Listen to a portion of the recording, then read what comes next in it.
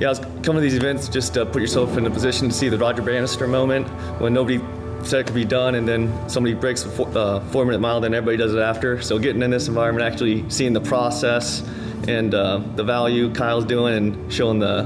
deals that he's doing as case studies and the, the buy box criteria, giving you confidence and being able to leverage somebody uh, somebody else's 10,000 hours they've already put in the time and went through all the struggles and everything to refine their process. So